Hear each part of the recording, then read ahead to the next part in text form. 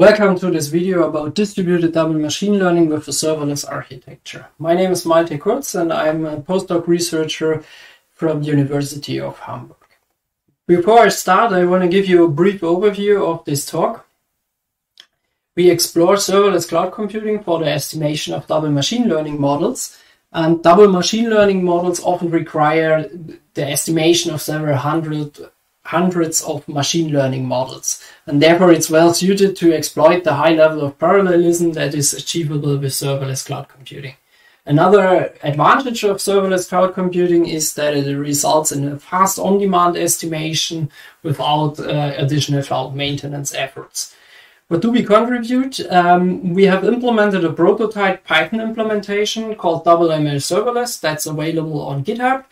And we demonstrate our proto prototype by running an experiment where we analyze estimation times and costs. The double machine learning framework was introduced by Victor Chernozhukov and co-authors in 2018, and it basically combines the strength of machine learning and statistics.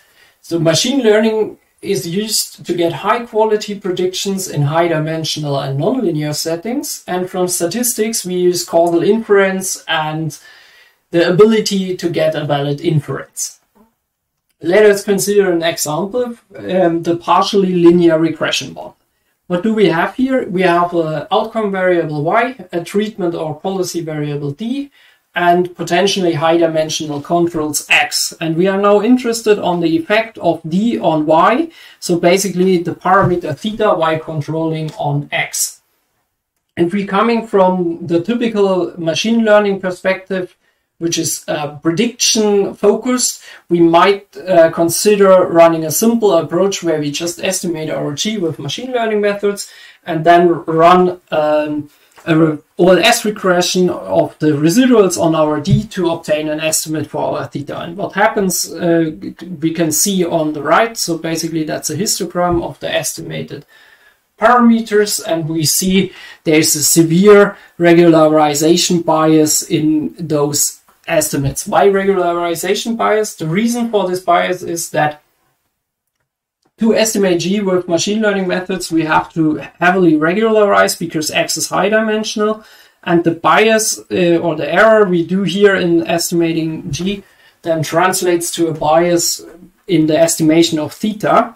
And to overcome this regularization bias, the double machine learning framework relies on the so-called Neyman orthogonal score functions. And if we use them to estimate our theta, we no longer have first order effects of those estimation errors in G on the estimation of our theta. So on the bottom right, you see those orthogonal, with an orthogonal score, our theta estimates are no longer biased. A second uh, key component of double machine learning is the usage of sample splitting. Why is it used? So as always, there's the risk of overfitting. And if we, for example, would uh, estimate the nuisance models G and M on the same data as our parameter theta, we would again get a bias. And to uh, get rid of that, the double machine learning framework uses sample splitting. So basically G and M are estimated on one part of the data and theta on the other part of the data. And to get more efficient, we can even uh, flip the roles and apply so-called cross-fitting and to get rid of uh, potential randomness because we have to, all this sample splitting, we even repeat that and aggregate our estimates then. And what we get then is a square root n consistency and uh, approximately normally distributed um, parameter estimates. And so we can do inference on theta and get something like a confidence interval what's the motivation for using serverless cloud computing here? Yeah, uh, first of all, we now know we have to estimate a lot of ML uh, models. So, for example, for five with five folds, 100 splits, and uh, two source functions, we have to estimate 1,000 ML models. And with uh, serverless cloud computing, we can achieve a high level of parallelism. Further, um, the function as a service paradigm lowers the entry bar to cloud computing technologies for typical users of double machine learning, like data scientists or econometricians. And it's also easy to deploy. And all, uh, further, the pricing model is quite attractive because you only get charged for the actually used resources and have no additional provisioning costs. What is our double ML serverless prototype based on? Um, we implemented for AWS Lambda, for the serverless platform AWS Lambda. And here um, there's one key parameter you should know, and that's uh, the allocated memory. And it sounds like only memory, but AWS Lambda scales other resources proportionally to these parameters. And so it's the key parameter the user has to select. And recently, um, the maximum memory allocatable was even increased quite um, significantly from 3 to 10 uh, gigabyte.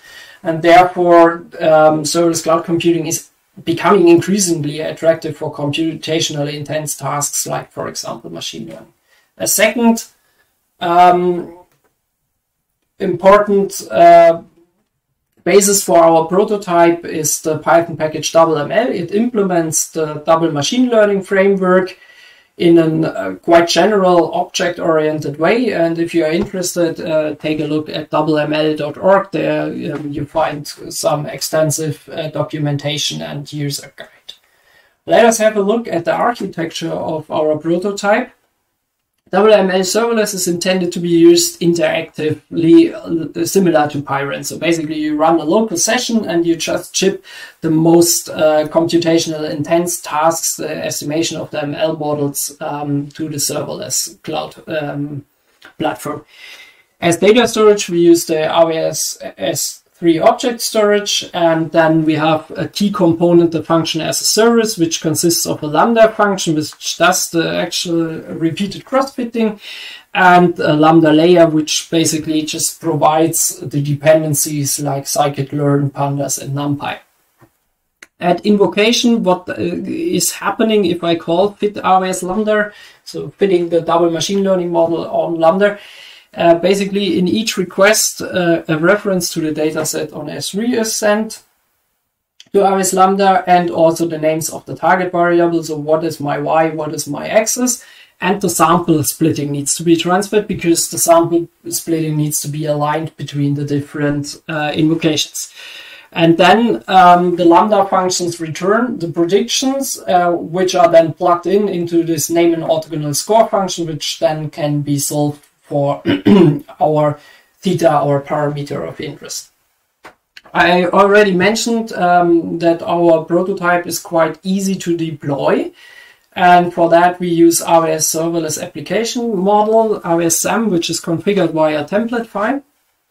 And it deploys all those components we see here on the right. So the Lambda function, the Lambda layer, and uh, but optionally also an S3 bucket and an execution role. And the deployment is pretty easy. So basically in the console, you just have to uh, run some deploy, SAM deploy guided, and then in a guided way, you can deploy all those components. And even uh, more convenient is uh, using AWS serverless application repository. We uploaded our application there and you can basically just click on deploy and in a guided way then in the browser you can deploy the application to your AWS account.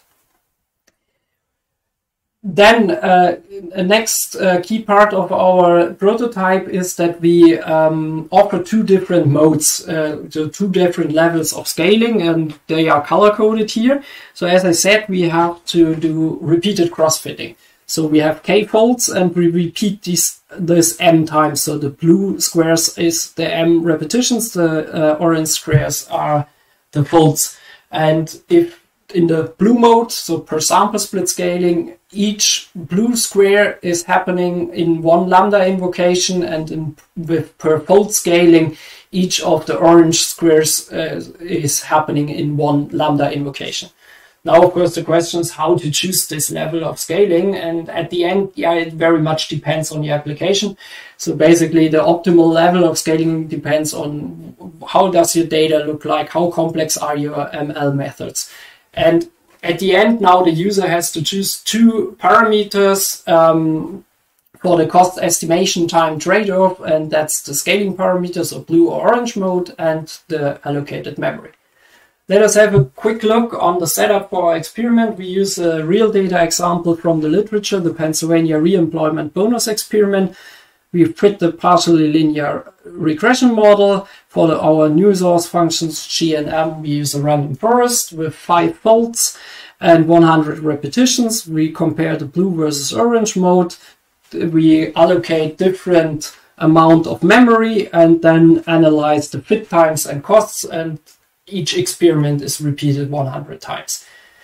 Now uh, let's take a look at the experiment results. On the right uh, top you see the fit times, bottom the costs. Um, if we allocate more memory, the fit times decrease.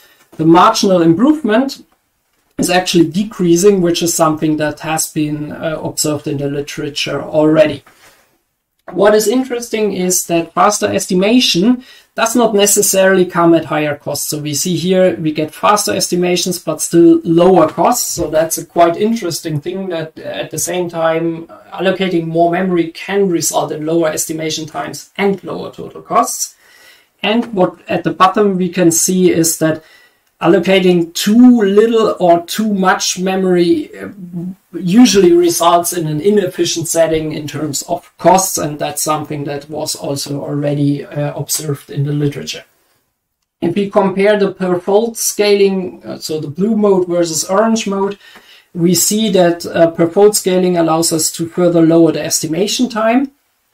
But and at the same time, the costs are only slightly increasing and what is uh, becoming visible here is a clear benefit of serverless computing. Basically, you can increase the concurrency a lot, but still the billing is proportionally to the actual computing time. So basically, we can get a, a much higher level of parallelism, but at only a little increase in costs.